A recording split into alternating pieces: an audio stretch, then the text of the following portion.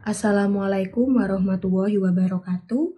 Perkenalkan, nama saya Intan Kartikasari. Saya mahasiswa Universitas Kiai Haji Ahmad Sidik Jember, Fakultas Tarbiyah dan Ilmu Keguruan, Prodi Pendidikan Guru Madrasah Ibtidaiyah.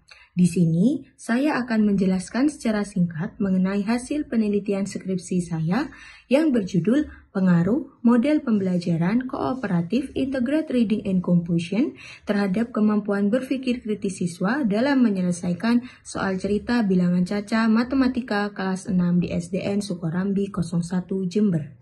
Dalam pelaksanaan pembelajaran, seorang guru dituntut untuk berinovatif dalam pelaksanaan pembelajaran di dalam kelas. Mengapa harus seperti itu? Karena keinovatifan guru atau kekreatifan guru akan sangat berpengaruh terhadap hasil pembelajaran siswa di dalam kelas. Hal yang dapat dilakukan yaitu salah satunya dengan menerapkan model pembelajaran. Apa yang dimaksud dengan model pembelajaran? Model pembelajaran merupakan bentuk pembelajaran yang digambarkan atau dirancang oleh pendidik dari awal sampai akhir, mulai dari mempersiapkan pembelajaran, penerapan suatu pendekatan, strategi, metode, teknik pembelajaran, bahkan media atau alat bantu, sampai kepada evaluasi pembelajaran. Jadi dengan adanya model pembelajaran, kegiatan pembelajaran akan berjalan secara baik karena sudah dirancang dari awal. Dalam penelitian yang dilakukan oleh peneliti ini, model pembelajaran yang akan diterapkan yaitu model pembelajaran kooperatif integrated reading and composition. Model pembelajaran ini yaitu model pembelajaran kooperatif, yaitu model pembelajaran yang dilaksanakan secara kelompok. Model pembelajaran kooperatif integrated reading and composition ini merupakan model pembelajaran yang dilakukan secara kelompok yang menekankan pada kegiatan pembelajaran membaca, menulis, dan tata bahasa yang bertujuan untuk menentukan ide dari suatu materi pembelajaran yang sedang dibahas atau sedang dipelajari. Dengan diterapkannya model pembelajaran ini, hal yang diharapkan oleh peneliti yaitu untuk menumbuhkan kemampuan berpikir kritis siswa. Apa yang dimaksud dengan kemampuan berpikir kritis siswa di sini? Yaitu kemampuan dalam menganalisis situasi yang didasarkan fakta yang dilaksanakan secara terus-menerus, aktif, teliti, rasional, sehingga diperoleh suatu kesimpulan. Jadi, berpikir kritis adalah berpikir penuh dengan perhitungan. Model pembelajaran ini menekankan pada kegiatan membaca dan menulis. Bukan berarti model pembelajaran ini hanya bisa diterapkan pada pembelajaran bahasa Indonesia saja. Akan tetapi, model pembelajaran ini dapat diterapkan pada pembelajaran matematika sesuai dengan penelitian yang dipilih oleh peneliti. Karena pada pembelajaran matematika bukan hanya tentang angka dan berhitung, melainkan ada kata-kata, dan bahasa sehari-hari yang harus dipahami dalam proses penyelesaian masalah.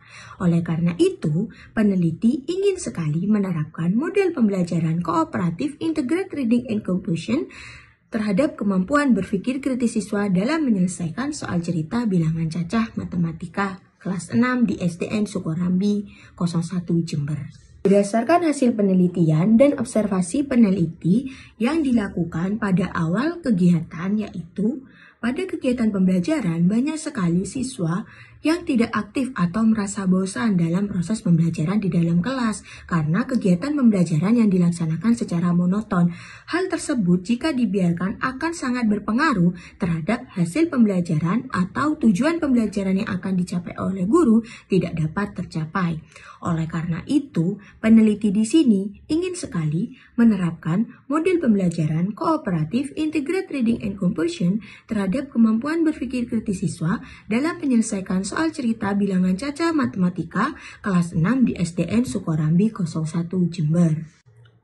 Di sini peneliti akan menjelaskan secara singkat mengenai model pembelajaran kooperatif integrated reading and composition.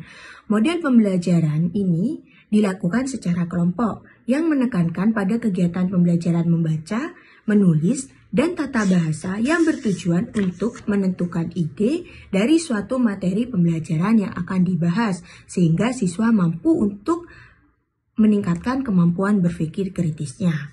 Adapun tujuan dari model pembelajaran ini yaitu untuk merancang, mengimplementasikan dan mengevaluasi dalam proses pembelajaran kemampuan membaca dan membina kemampuan menulis siswa yang akan memanfaatkan kehadiran teman satu kelas karena model pembelajaran ini bersifat kooperatif atau bersifat kelompok. Adapun langkah-langkah dalam kegiatan pembelajaran di dalam kelas dengan menerapkan model pembelajaran kooperatif integrated reading and composition. Yang pertama yaitu orientasi. Guru melakukan apresiasi dan pengetahuan awal siswa tentang materi yang akan diberikan dan tujuan pembelajaran pada kegiatan pembelajaran di dalam kelas. Yang kedua yaitu organisasi. Guru membagi siswa ke dalam beberapa kelompok yang terdiri dari empat orang secara heterogen.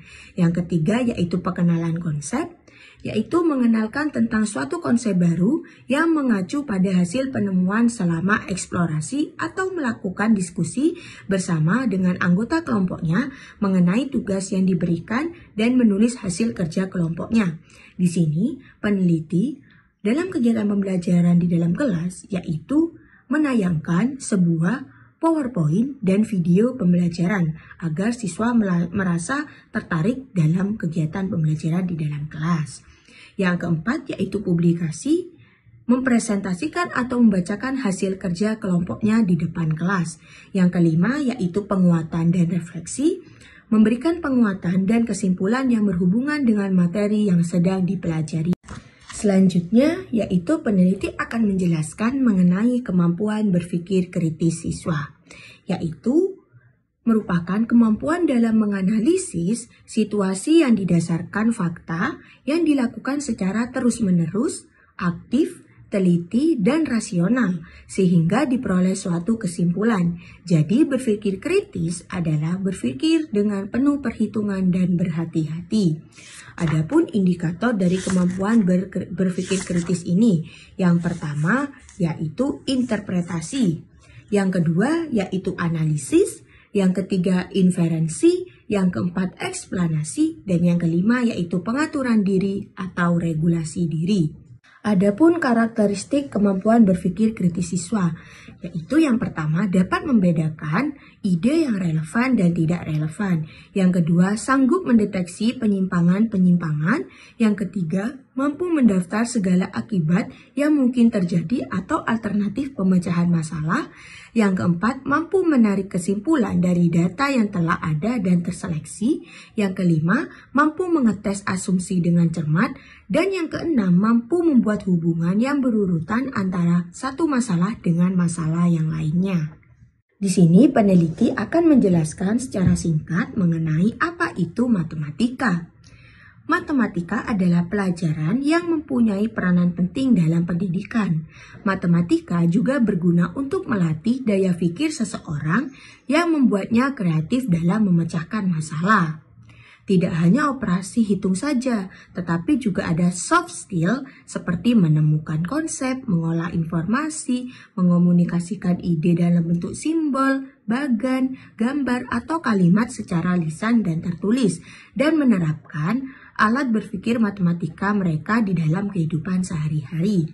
Adapun tujuan dari pembelajaran matematika yaitu untuk menumbuhkan dan mengembangkan keterampilan berhitung siswa sebagai latihan dalam kehidupan sehari-hari, dapat membentuk sikap logis, kritis, cermat, kreatif, dan disiplin bagi siswa untuk diterapkan dalam kehidupan sehari-hari. Penelitian di sini menggunakan penelitian kuantitatif dengan jenis penelitian eksperimen dengan desain one group pretest and post-test. Penelitian ini dilakukan untuk mengetahui peningkatan atau hasil perlakuan yang diberikan. Eksperimen dimaksud untuk mengetahui pengaruh X yaitu model pembelajaran kooperatif integrated reading and composition terhadap Y kemampuan berpikir kritis siswa. Pada penelitian ini dilakukan sebuah pretest sebelum perlakuan dan diberikan Postes sesudah perlakuan. Populasi dalam penelitian ini adalah seluruh siswa kelas 6 di SDN Sukorambi 01 Jember, yaitu 18 siswa laki-laki dan 13 siswa perempuan dengan jumlah 31 siswa. Sampel dalam penelitian ini yaitu menggunakan total sampling, yaitu teknik pengambilan sampel secara keseluruhan. Alasan mengambil total sampling karena menurut Sugiono jumlah populasi yang kurang dari 100 maka seluruh populasi akan dijadikan sebagai sampel penelitian. Jadi sama Sampel yang diambil dalam penelitian ini yaitu sesuai dengan kelas yang dipilih oleh peneliti yaitu kelas 6 dengan jumlah siswa sebanyak 31 siswa. Adapun teknik dan instrumen pengumpulan data. Teknik pengumpulan data di sini yaitu menggunakan observasi, tes, dan dokumentasi. Untuk instrumen pengumpulan datanya yaitu menggunakan uji validasi. Menggunakan uji validasi isi, yang merupakan alat ukur ditentukan melalui pendapat profesional dalam proses telaah soal, sehingga item-item yang telah dikembangkan memang untuk mengukur apa yang dimaksud dan untuk diukur. Adapun analisis data, analisis data di sini yaitu stas yaitu statistik deskriptif dan statistik inferensial, yaitu menggunakan uji hipotesis menggunakan uji T dengan bantuan SPSS. Hasil data yang diperoleh oleh peneliti sebelum diberikan perlakuan atau pretest yaitu terdapat 4 siswa yang tuntas dan 27 siswa yang tidak tuntas dengan nilai tertinggi yaitu 75 dan nilai terendah yaitu 5. Dalam kegiatan pretest ini, banyak sekali siswa yang tidak mampu menjawab soal yang telah diberikan karena siswa merasa kebingungan dan tidak memahami arti dari sebuah soal yang telah diberikan sehingga siswa tidak dapat menyelesaikan masalah yang diberikan oleh peneliti. Sehingga peneliti menerapkan model pembelajaran kooperatif integrated reading and composition yaitu melakukan sebuah post-test dengan menerapkan model pembelajaran tersebut. Dengan menerapkan model pembelajaran tersebut, terdapat terdapat 17 siswa yang tuntas dan 14 siswa yang tidak tuntas dengan nilai tertinggi yaitu 90 dan nilai terendah yaitu 20. Lah, dari data tersebut mengalami sebuah peningkatan walaupun peningkatannya tidak secara signifikan atau sangat tinggi karena hal ini harus dilakukan secara bertahap dan terus-menerus untuk menumbuhkan kemampuan berpikir kritis siswa.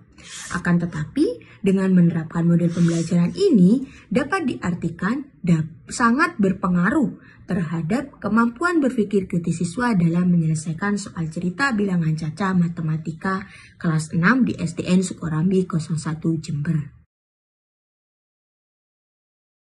Dengan menerapkan model pembelajaran tersebut, meningkatkan keinginan siswa untuk terus belajar. Pembelajaran menjadi tidak monoton karena peneliti di sini menayangkan sebuah PowerPoint dan juga ada video video bernyanyi bersama dengan siswa.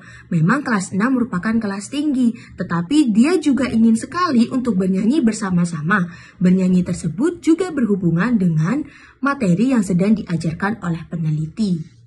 Dari hasil penelitian yang dilakukan oleh peneliti, dapat dikatakan ada perbedaan rata-rata antara kemampuan berpikir kritis siswa sebelum perlakuan atau pretest dan sesudah perlakuan yaitu post-test yang artinya ada pengaruh model pembelajaran kooperatif integrated reading and composition terhadap kemampuan berpikir kritis siswa dalam menyelesaikan soal cerita Matematika kelas 6 di SDN Sukorambi 01 Jember.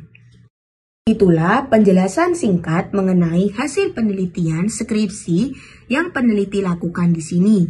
Sekian yang dapat disampaikan. Saya ucapkan terima kasih. Wassalamualaikum warahmatullahi wabarakatuh.